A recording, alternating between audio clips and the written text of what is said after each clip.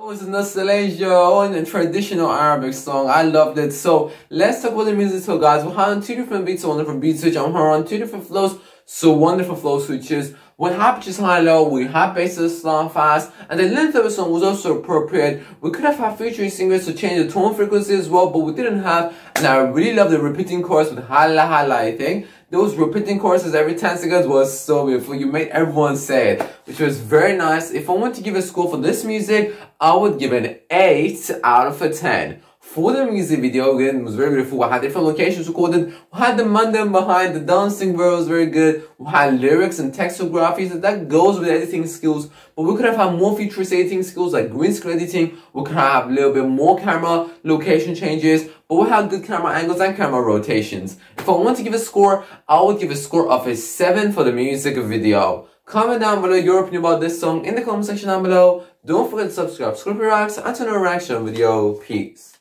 So bad I wanna shoot, shoot, shoot like hoops.